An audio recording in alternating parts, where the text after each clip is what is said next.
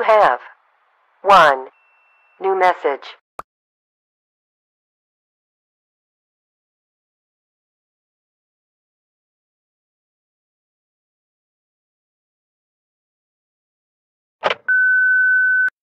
Uh, hello? Hello?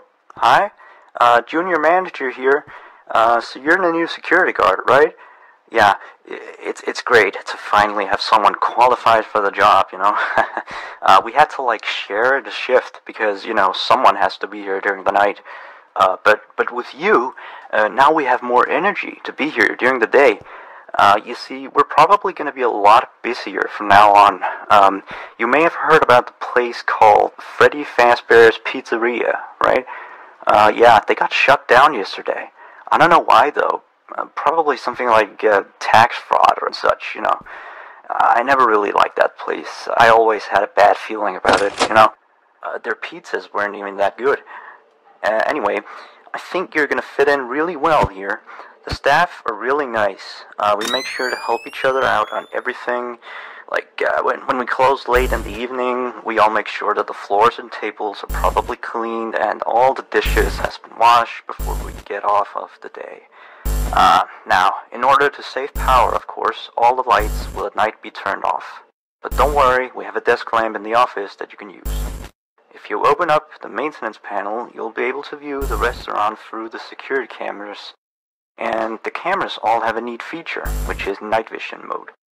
These cameras were the cheapest we could get, so the night vision isn't that accurate, but it does retain the colors, which is good, I guess. Um, you can toggle the night vision by activating the camera you're already on. And uh, by the way, we have a security feature in the restaurant that limits how much power can be used after hours.